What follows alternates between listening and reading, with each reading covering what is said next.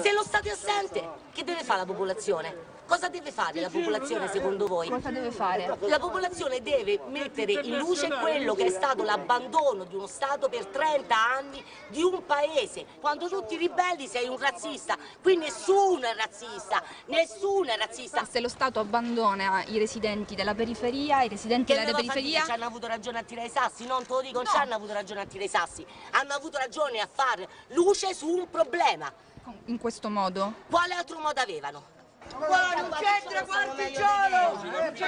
Quarticciolo, vai a Quarticciolo. Vai a fare a Quarticciolo! Ma vado a fare Vai a Quarticciolo. Quarticciolo! Oh, sei venuta qui per provocare?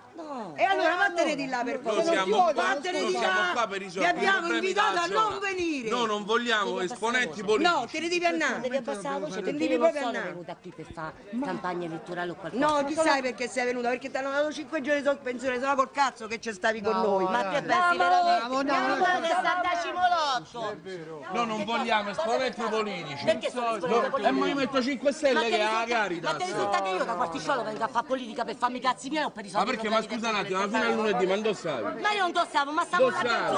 Va bene, io voglio la gente del Quarticciolo, io non voglio un Ma esponente. io sono de- la gente del Ma, Quarticciolo, ma tu sei il perché quando Movimento entro là 5 dentro- Stelle. Ma perché quando entro là Non dentro viene, fa qua più sta la cittadino? casciata via Meloni, Borghezio, qua non volevamo politica. Io non so Non volevamo accattonaggio Io di non so voti.